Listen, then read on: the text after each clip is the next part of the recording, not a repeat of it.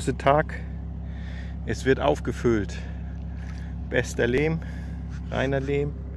Hier lassen wir ein Wasserteil, werden wir wahrscheinlich hier noch abtrennen mit einer, mit einer Holzbohle.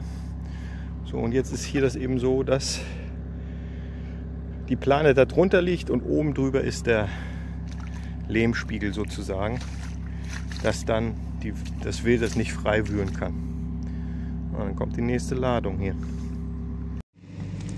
Man soll sich ja nicht selbst filmen, aber.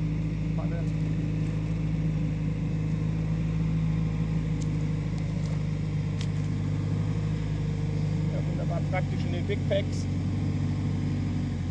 Ein Big Pack kostet 110 Euro eine Tonne.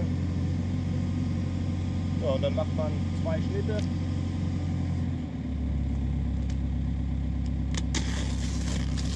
Ich hoffe, es spritzt nicht zu sehr.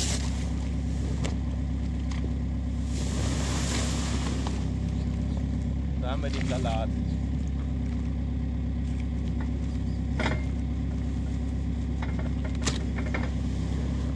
Ja, immer bei der Sache bleiben.